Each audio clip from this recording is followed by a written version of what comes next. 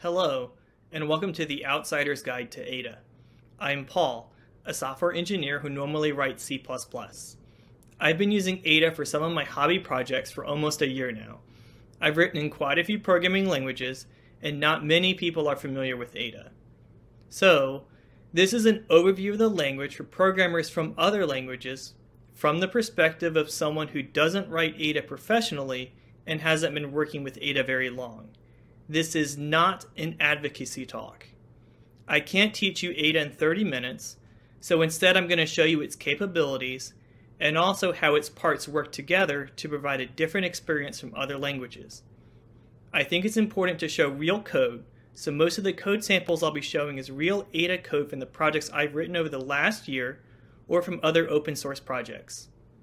I am not a lawyer, so seek competent and licensed legal counsel before making any business or legal decisions based off information in this talk. Ada is still in use today. It was released in the early 80s, followed by several revisions, making it a contemporary of C++, not of Fortran and COBOL. Whereas the lineage of C++ can be traced roughly from ALGOL through BCPL and then C with Simula inferences, Ada comes from a parallel track from ALGOL through Pascal. The Pascal influence can be seen in the use of colon equals for assignment, which is a statement, not an expression like in C++. It also uses single equals for equality, slash equals for not equal, and begin and end keywords instead of curly braces for blocks. In addition, due to the language not being built around object-oriented programming, there are some interesting consequences on program organization and structure. While several paid compilers exist, there's the Ada front end to GCC, which is called GNAT, which is free as in beer and as in freedom. The Free Software Foundation's version of GNAT provides a GPL v3 license with a runtime exception, so I've been writing and releasing my code under the Apache 2.0 license. For simplicity within this talk, I will be treating the GNAT ecosystem and Ada as interchangeable, as GNAT is the predominant open source variant of Ada. In addition to a compiler, GNAT also includes a pretty printer for code formatting, a document generator, and other tools. Ada contains a subset called Spark, which provides the capability to formally verify subsets of your program enabled via the Spark mode aspect. There's also a relatively new package manager called Alire, this enables you to install the GNAT toolchain on multiple systems, create, publish, and download crates, which can be libraries or binaries. If you're familiar with Rust, this tool fulfills many of the roles of RustUp and Cargo. There isn't a considerable open source presence for Ada. The TIOBE ranking has it at number 34. Languish, which looks at the number of GitHub issues, pull requests, and stars, has it at number 163. Ada doesn't show up on the Red Monk programming language rankings, and it does not appear on the Stack Overflow developer survey. Black Duck OpenHub shows Rust as having 10 times the number of contributors of Ada and about the same amount of code. The popularity of programming languages metric shows Ada steadily gaining, though there's some question of if this is generated by Ada the language or by Cardano the cryptocurrency, which calls its token Ada. Most Ada tutorials describe the language, but not a possible environment for working in it. I develop in Ada on Windows, Mac, and Linux. On all of these platforms, I use the same method. I install the Free Software Foundation's GNAT front end to GCC using a Alire, and then use GNAT Studio or Visual Studio Code. Both of these editors are good. My personal preference lately has been using Visual Studio Code. There's an Ada language server which some people use with Vim, but it also has an extension for Visual Studio Code. For Vim users, there's also a group of plugins you can get called the Ada Bundle. I use Alire to start my editor since it will launch it with the appropriate environment variable set. I use a JSON workspace file like shown, along with this a Alire config command to start the Visual Studio Code directly. So, when I write Ada, my editor looks something like this. A major hurdle in learning the language is that the vocabulary can be quite unfamiliar. I'll be using the vernacular of programmers familiar with C family languages, in particular C++. If you're having trouble with finding something or understanding an Ada related term afterward, this chart should provide a starting place for looking for what you need. The way Ada is structured, there's a core which I call type safe C, and then three categories of features you can bring in at your choosing. The core language includes primitives like integers and floating point types, arrays, functions, and packages for namespacing. This also includes a standard way of defining compilation units. One set of features includes object-oriented programming, compile-time generics, and constructors and destructors. I call this C++98 in Pascal because it doesn't include some features we commonly use in more modern C++ versions, like move semantics and variadic templates. The second set is built-in concurrency features. You can specify tasks for concurrent computation, as well as protected objects to coordinate read and write access to resources used by multiple tasks. The third set relates to modeling features. This includes ranges and constraints you can apply to types, the Spark language subset used for formal verification, and also built-in design by contract. When I write Ada, I typically use few or no object-oriented tools, the standard library container generics, and design by contract with pre and post conditions. I've used the concurrency features for data processing in parallel and adding interactive features. The language provides the ability to opt into features. Syntax falls into four categories. Structure, to delineate compilation units, provide namespaces for functions and types, and to separate code to execute concurrently. Types, to define semantics for values by constraining their usage and contents, and provide the mechanism for function overloading statements to define computation within our structural elements, and finally controls to provide the compiler additional direction when the other elements are insufficient, which attach to the other elements without obscuring their intent. The physical structure of how Ada programs are written is a more formalized version than that used in C or C++. Specifications in .ads files are sort of like header files, and bodies in .adb files are sort of like source files. There's no preprocessor or include directive, and all elements must begin with what's called the context clause. This describes all of the immediate dependencies that this compilation unit depends upon, and can only be provided at the beginning. This means a compiler can see if it has what's required before trying to proceed. The program entry does not need to be called main and can be specified as part of the build when making executables. The predominant compilation unit is the package. A common pattern in Ada syntax is the use of a pair of declarative element as well as a corresponding body element. Package names are significant and the usage of dots between elements to indicate a package being a child of another. In this example, if a package p.r existed, it would indicate that r subchild of the parent package p. Ada separates declarations from executable code. Sections following the reserved words is or declare indicate declarations, and those following the word begin indicate executable code. Data hiding, also known as encapsulation, happens at the structural level in packages and protected types by starting a section with the reserved word private or by placing elements in the body only. This is different from many other languages, such as Java, which describe encapsulation at the class level. All of the structural elements exhibit these similar characteristics.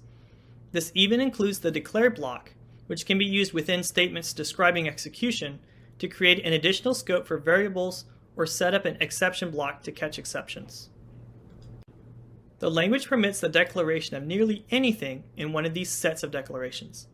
When writing new features, it's often convenient to split out new packages, functions, tasks, and protected types during refactoring into the declaration section of the function you're working on before moving them to their permanent homes. Structural elements fall upon two axes, whether they are active or passive, and whether they describe sequential behavior or concurrency features. Subprograms, which are either functions which return a value or a procedure which does not, describe reusable sequences of steps. Packages provide namespacing for other elements and data hiding. They act like classes and subclasses in C++ or Java with regards to the rules for encapsulation. you can hide details from the outside while allowing children of the unit access. Tasks provide concurrent execution of statements, and the body in which they're declared won't exit until they're complete unless they're dynamically allocated. Ada provides built-in capabilities to segment available CPUs into what's called dispatching domains and also to pin, to pin tasks to specific CPUs. Protected types synchronize read and write access to their contained data and can use complex guards to do so. One-off tasks and protected types can be created by just skipping the type reserved word in their declaration. I'm only going to briefly mention types here to facilitate further discussion. In general, types aren't that important to how Ada works because they tend to work roughly the same all the time. Their purpose is to describe the value set or modify behaviors allowed on variables of a specific type. This takes many forms. The range for a percentage could be described as 0 to 100. For a reference count, a new type, not an alias, might be used to hide the underlying type. What this does is to create a new version of an existing type. Since Ada does not allow implicit conversion, the type system prevents mixing these types without explicit casting. This allows the type checker to catch bad semantic usage, such as assigning an integer of microseconds to one of nanoseconds. Arrays provide groups of a given number of a type. The index type can be another type and have an arbitrary range. For example, you can create simple maps by using an enum as the index type, or prevent the need to remap indices into and out of an array by declaring the array index range as that value range, such as 50 to 100. Limited types prohibit a value from being copied or reassigned. In my project Septum, the searches package exposes a heavyweight uncopyable search type in an opaque way to clients.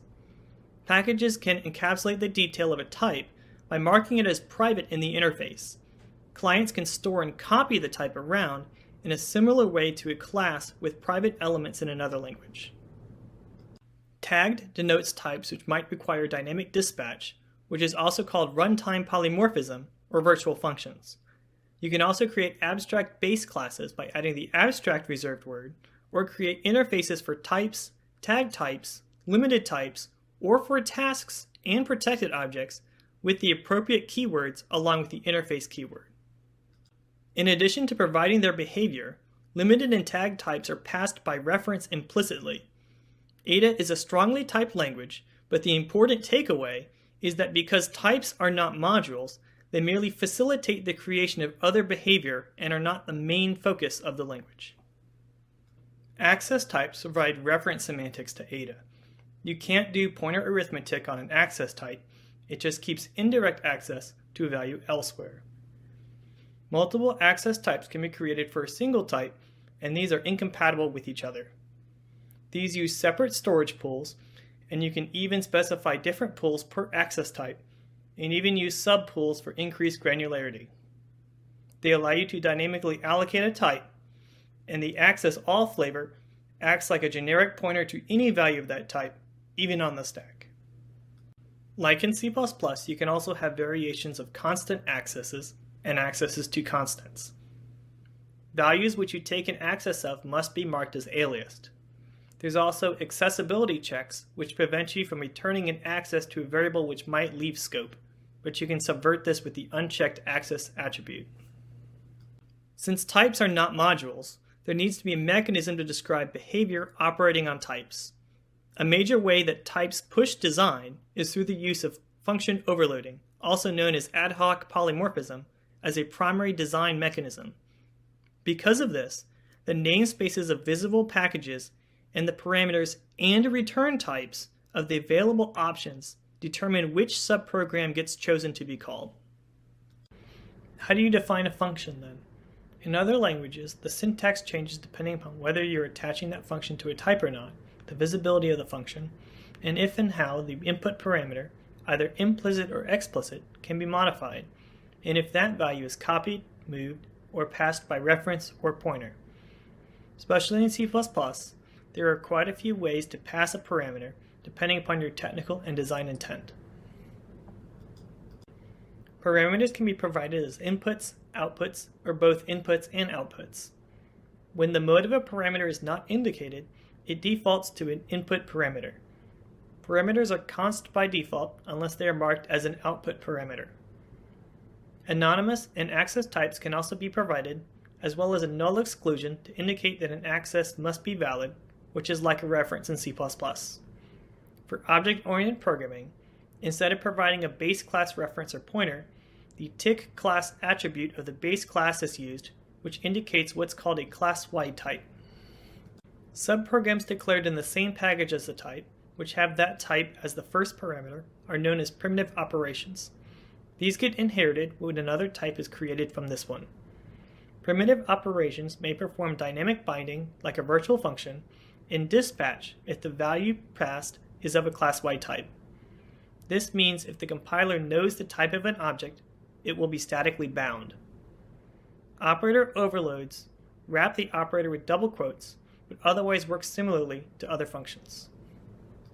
Since functions and procedures get declared outside of types, this means there isn't much of a distinction in Ada between what other languages call member functions or methods, static functions, or free functions. Controlled types provide RAII, or Resource Acquisition is Initialization. Types which inherit from ada.finalization.controlled can override three procedures initialized, which gets called after default initialization, adjust, which gets called after the value receives an assignment, and finalize, which cleans up at the end of the scope, like a C++ destructor, and also immediately before a value receives an assignment. Limited types cannot be copied or assigned, so for those you inherit from ada.finalization.limited control, and there is no adjust in this case. Attributes take the place of additional operators and keywords to denote special properties and operations of types and values. Initially, they're super confusing but they're just the name of a type or value followed by an apostrophe, or what Ada calls tick. For example, instead of size of and align of, there's the attributes tick size and tick alignment. Instead of an operator to get Ada's equivalent of a pointer to a value, you use tick access on the variable, which also works on subprograms like a C function pointer. If you want the raw machine address, you can use tick address, to parse a primitive value from a string, there's a function like tick value. Primitives also provide tick min and tick max attributes to return the min or max of a pair of values. For arrays, there's tick length, tick range to provide a range to iterate over, tick first, and tick last to get the first and last indices.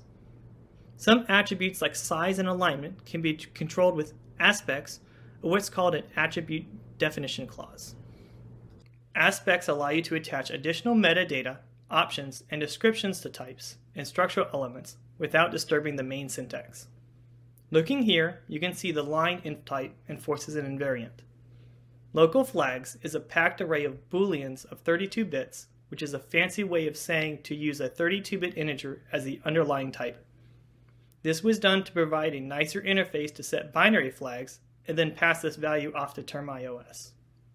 Insert here will be inlined, but also has a precondition which gets checked prior to being called, and a postcondition checked afterwards. You can see the attribute tick old here being used, which is the associated value prior to the procedure call. tcGetAttr is just a C function being imported and can be used just like a normal Ada function in code. Ada's generics are different from those in other languages since you instantiate generics at the package and function level and not at the type level. This instantiation is also explicit, meaning you can't just use an ordered map type inline with angled brackets and have it work. This was a major conceptual block for me, as I don't recall ever working with a language which handles generic instantiation this way. Instead, the entire package gets instantiated and then used like any other normal package. Also demonstrated here is the usage of named parameters, which works also with subprograms. For generics which can be shared, this instantiation can be done once at the compilation unit level, so each package doesn't need to individually instantiate it. Now that we've gone through an overview of the language, let's look back at the high level at how these pieces fit together. Let's start with the structural side. You can see how subprograms and packages can have generic versions, but tasks and threads cannot. You can, however, put tasks and protected objects inside of generic packages. You can see types split out into their various flavors. Exceptions are technically not types in Ada, but I'm grouping them in that section since they're distinct from one another. Finally, you can see the controls we have over the other elements. There's quite a few pragmas which have corresponding aspects. There's also a set of pragmas, attributes, and aspects defined as part of the Ada standard, but implementation defined ones are permitted as well. With the available time, I'm going to highlight a few interesting features of Ada. Strings are arrays of characters and are not null terminated. Since they are arrays, they include the same bounds checks as other arrays. If needed, you can convert to and from null terminated C style strings using the built-in interfaces.c.strings package.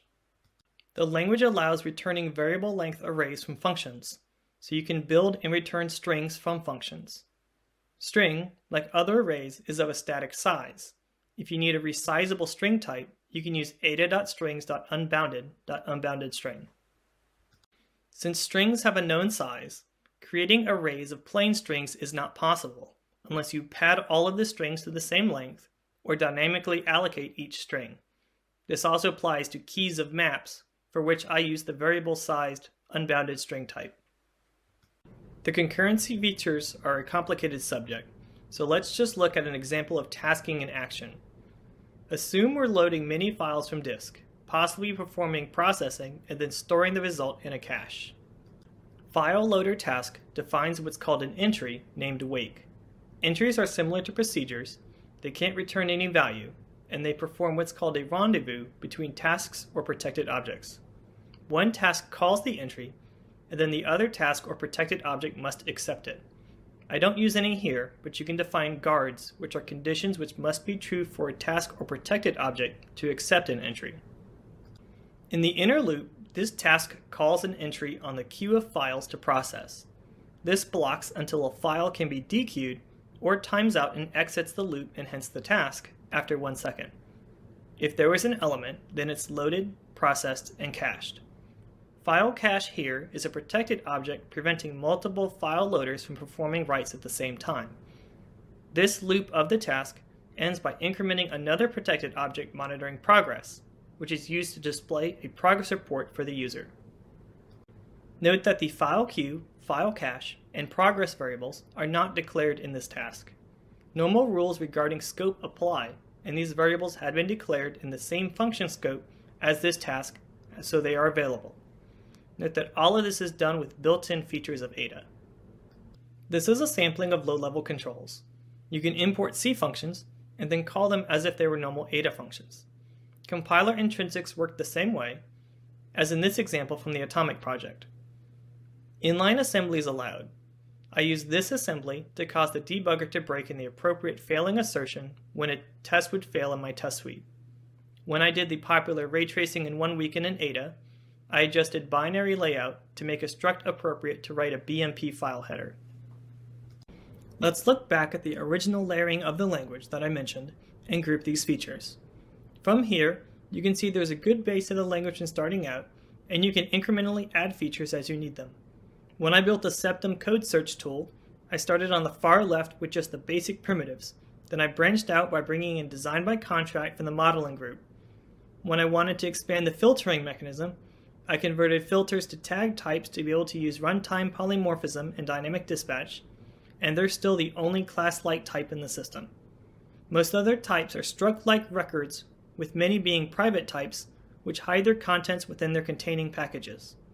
When I needed to, needed to parallelize search, I brought in tasks and converted the file cache to a protected type. My best way to describe Ada is that it's about intent.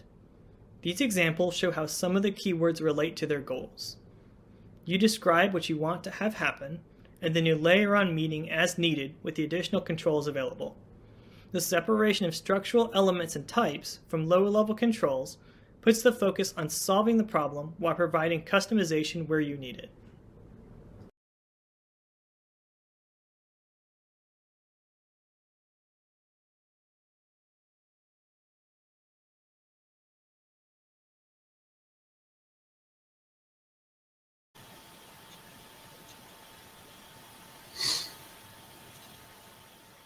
And we are live for questions and answers from Paul Jarrett.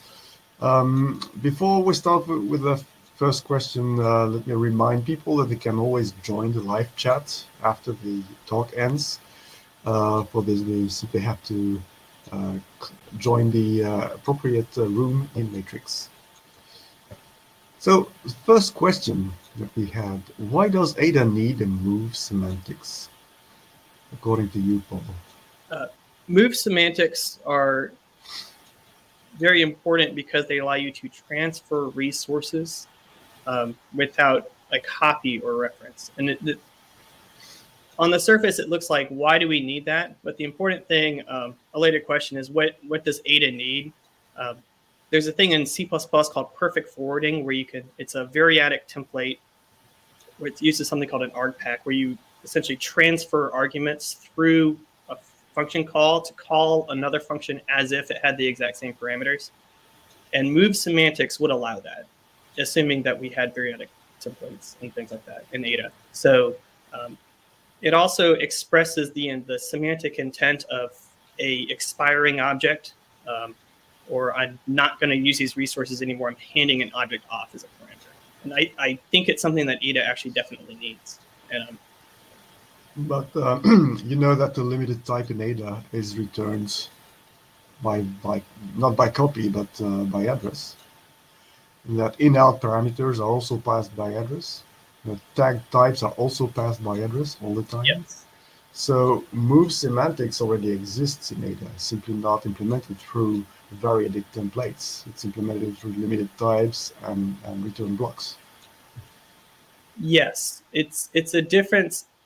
It would be like adding a um, a moved reserved word in addition to in and out. Um, it, it's it's semantically different. Is, is the point that um, you're because tra- in in um, it's transferring the resources. Rust uh, formalizes it. When you move an object, you cannot access that anymore.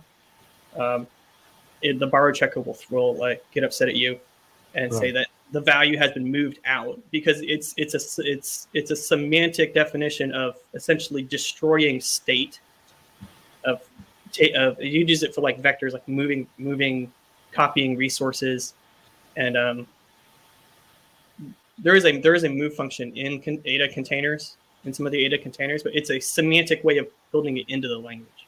Right.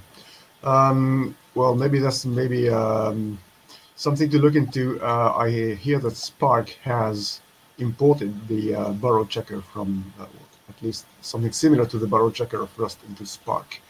So now at compile time, there are some checks to verify the ownership of objects passed by address. So it's not in Ada, indeed, it's an extension to Ada, it's Spark. Um, but yeah, maybe that, that might be something to look into. Second question, even though I read your website, what were the things you found really difficult for coming from the C++ world? So what were the the roadblocks you found? The biggest ones were um, attributes. Uh, I read Barnes's book, and um, it was the primary source that I used. And uh, a lot of the tutorials just assume that you know what attributes are, and it's like I would expect there to be a keyword or something for that. Uh, it's there's not really a good explanation other than it's like it's something that might it's it's built in and built onto like a value or an object or a type, and that's not really explained very well um, in a lot of tutorials. That that was a, a big trip up, and then um, generics. Um, normally, uh, instantiations are implicit, like in C++ and Rust. You you just use the type. Well, and the whole concept of having to instantiate an entire package, it, yes, it's what C++ does behind the scenes, but um, most of the time you don't concern yourself with it as much. Um, but that was a that was a huge one. Um, but everything else, um, in many respects, Ada builds on uh, the same conceptual foundations. Like I call it C++ 98 in Pascal because like, I honestly think someone with C++ could get productive in Ada in less than a month because there's a lot of conceptual similarity, even though it's a Pascal-based language and not a C-based language a lot of the stuff is very uh, like compilation model system, like the ADS ADB files. Very familiar with that. Like a lot of the stuff just kind of flows directly from C++ understanding. Does that make sense? Yeah, um, I didn't really catch what you said about the one month. You mean it, it takes at least a month to get become fluent in Ada? I, I think in I was productive in Ada in less than a month. Um, right. Yeah. Uh, I, I was like reading standard library code in less than a month in a lot of languages that you're not normally at that point that fast. Yeah, that, that matches my experience too, because I was I, I was once an outsider too. You know, I, I taught myself Ada, and yeah, less than a month is sufficient. The, the important thing is that some people say we can't use Ada because there's no programmers, um, or we have trouble finding programmers, and I think that something that people don't understand is that you could hire C++ programmers and convert them into Ada programmers relatively quickly. Yeah. Uh, if if, awesome. if you were bound to Ada for some reason. Yeah, that, that matches our experience too. Uh, have you managed to convert anyone to Ada from C or C++? Uh, conversion isn't really my goal. My goal was primarily to figure out the language, so to speak. Um, part of the reason I learned it was there wasn't a lot of information, and I don't know anyone in person that actually uses Ada at all. So like this conference is my first experience actually talking to people who use the language um, outside of the text forums and things. Um, my, my intent was to understand the language, and all the material I've written has tried to be from the objective point of view of laying out the language because a lot of people don't understand how it fits together and I think there's a lot of conceptual ideas that would improve other languages if they were to adopt them.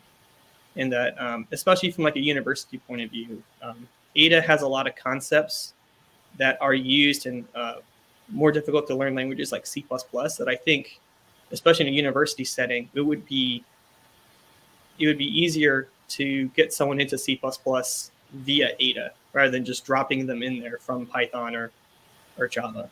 Does that make sense? It does. It does a lot. And you're preaching to the choir, in fact. So we all in we are all in agreement. Um, maybe last question: What would you like that Ada dif did differently? Um, primarily, uh, I would like to see the GNAT already has a switch for it, the function call where you can treat basically the controlled parameter, a, uh, controlling parameter, you can always use the dotted the notation, the a dot b notation. I think that would be good because uh, C++ is trying to move to that, and I think Rust is as well. Um, I think I that would be interesting to see because it would unify the ability to call everything the same way. Because sometimes you create tag types just so you can get the a dot b notation. Um, the other thing I would bring in would be uh, I would I would like to see how control types I would like this, the instantiation from aggregates. Um, there's some non-obvious things about how uh, those three functions, the initialize and um, adjust, get called, and not, that don't. It took took a lot of experimenting to get that mental model correct in my head, longer than I, than I would like. Yeah, we all know that uh, initialization and finalization are difficult topics in, in any language. Uh, Ada makes them explicit, so you have to really think about them. Mm-hmm. Uh, in other languages, you might simply forget about them because they are implicit and you don't see them. But they exist nevertheless. Um, I think that's all we have.